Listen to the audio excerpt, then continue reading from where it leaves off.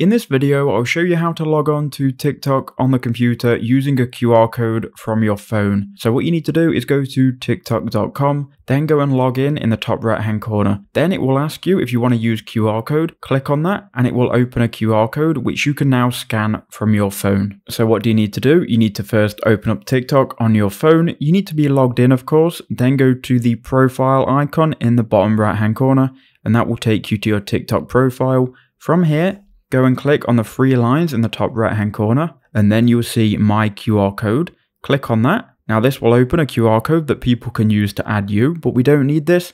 What we need to do is click on the button in the top right hand corner. That will uh, then open up a QR scanner and it will then scan your TikTok on the computer and it will confirm the login. All you have to do is click confirm on this button, then you can go back to your computer Okay, so now once you've clicked confirm on your phone on the mobile app, it will now log you into TikTok on the computer and you can just use this account as you normally will be able to on phone. I hope that video helped you out.